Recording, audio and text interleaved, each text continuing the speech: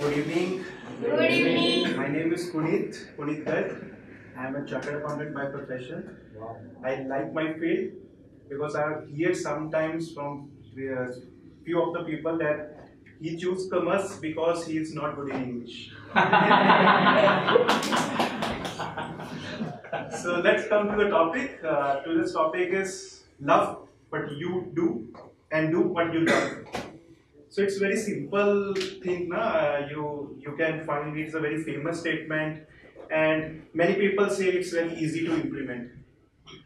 But and few people I see they love, they achieve what they want, but it, it doesn't happen to everybody. Sometimes your destination destiny does not want that what you love. You need to change your love with the actual facts in your life. So sometimes our destiny wants something else and you want something else. So you should remember that you should not be sad and think about that God thinking about something else which may be good, more good than the current thing you think it's good for you. Because in my, if I, I talk about my personal life, I was born in a very rich family, and I always think about my dad. I see that business is growing every day, and I want to continue the same business. I want to grow that same business, my family business, but my destiny wants something else. Things changed. My business has some financial crisis, so I need to close. We need to close that business. Then I realized I need to change. I need to change my love. Then I, being a from the Banya family and Agarwal family, so I am good in numbers. So I think let choose a path which I can love, which I can achieve very at very great heights. So I choose chartered accountant. Maybe people think about chartered accountant is very difficult, but I don't think chartered accountant is so difficult if you love and if you uh, work hard to achieve that goal.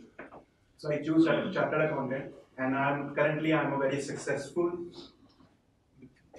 CA working, working in a very big MNC in India and I'm in, in, in a very good position.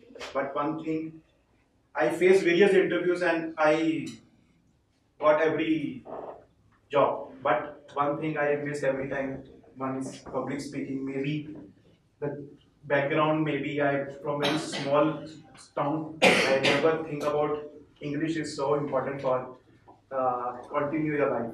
So I, but I when I came when I started doing my career, I started working. Then I realized public speaking is very important as compared to your education as well. So, so I after doing I see I I realized that if you're doing something and if you love something, loving start loving on that thing, things and circumstances change accordingly with your love. And if you really work hard for any anything you think you can uh, achieve, you can definitely achieve. So try to be aware, afraid from change. Always accept change because life give you every time a new situation which you don't like. So you need to love, you need to accept change. So at last I want to say if life give you a lemon, accept the lemon.